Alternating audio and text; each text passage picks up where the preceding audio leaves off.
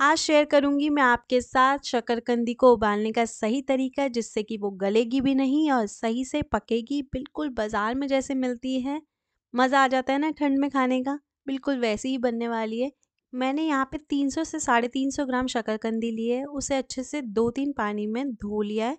मिट्टी बिल्कुल हटा लेनी है, जैसे मर्ज़ी आप इसे धोइए, पर बिल्कुल साफ़ होनी चाहिए ये, मिट्टी बिल्कुल नहीं होनी चाहिए। पानी यूज़ करने से क्या होता है उबालते वक्त, ये गल जाती है तो हमें ऐसा नहीं करना, हमें ये ट्रिक फॉलो करनी है तो इस वीडियो को एंड तक देखें।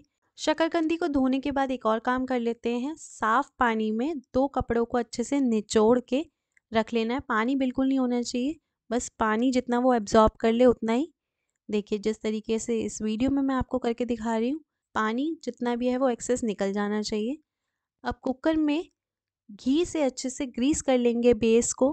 घी इसलिए क्योंकि बहुत ही अच्छा फ्लेवर आता है शक्करकंदी में और ये लगे ना नीचे, जले ना, इसलिए हम घी का इस्तेमाल कर रहे हैं। धुली हुई शक्करकंदी को हम इसमें डाल देंगे और ऊपर से ढक देंगे हम दोनों किचन टावल से जो हमने ऑलरेडी धो के रखे थे। ध्यान रखिएगा, पानी इसमें बिल्कुल ऐड नहीं करना है। पानी डालने से कभी कभी क्या होता है कि मिठास जो है शक्करकंदी की, वो कम हो जाती है या फिर कई बार ओवर कुक हो जाती है तो वो हमें बिल्कुल नहीं चाहिए। अब इसका ढक्कन लगा के मीडियम से लो फ्लेम पर इसे रख देंगे। जैसे ही देखेंगे इसमें स्टीम बननी शुरू हो गई है तो फ्लेम को लो कर देंगे। अब इसे लो फ्लेम पर ही 15 से 20 मिनट के लिए पकने देंगे, बिना पानी के।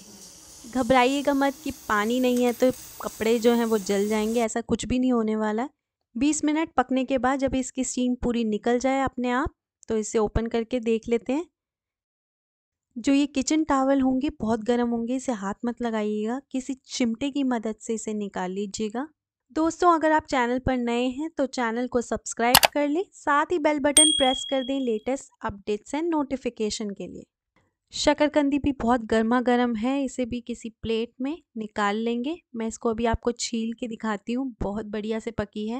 इसको 15 से 20 मिनट पकने में लगेंगे। है ना, बहुत आसान सा तरीका शकरकंदी उबालने का। अब ना मैं आपको इसे छील के दिखाती हूँ, बहुत ही आसानी से इसका छिलका उतर जाएगा। मिठास भी इसकी बरकरार रहेगी और बिल्कुल ये बाज़ार में मिलने वाली जैसे शकरकंदी होती है ना, बिल्कुल वैसी ही आपको टेस्ट में लगेगी। अब मैं आपको बताती हूँ, इसे सर्व कैसे किया जाता है। इस पर ढेर सारा नींबू निचोड़िए, साथ ही इस पे बुरकिए, काला नमक, चाट मसाला और सेंधा नमक। बढ़िया से टॉस कीजिए ताकि सारे मसाले अच्छे से मिक्स हो जाएँ और सर्व कीजिए। है ना बढ़िया तरीका शकरकंदी उबालने का? ट्राइड एंड टेस्टेड है।